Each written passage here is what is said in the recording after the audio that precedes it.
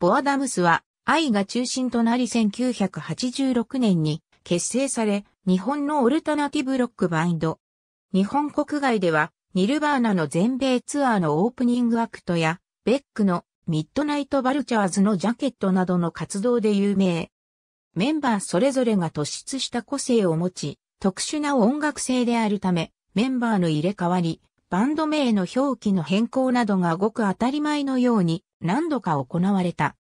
また、メンバーが個々にソロワーク、他のアーティストのコラボレーション等のサイドプロジェクトも熱心に行っており、関連ユニットの数は膨大な数に上る。現在は V リーダムズという名義がよく知られ、2ドラムスプラス 1DJ というスタイルで音楽を披露している。初期の音楽性はノイズミュージックとハードコアを主体としたサウンドであったが、スーパーゴー以降は民族音楽などを取り入れた太陽崇拝トランスへと大幅な転換を迎える。日本よりむしろ海外での評価が高く、ソニックユースやニルバーナ等の初期のグランジ勢からビースティボーイズ、リチャード・ D・ ジェームスまでその交友関係は多岐にわたる。海外の音楽フェスティバルに招聘されることもある。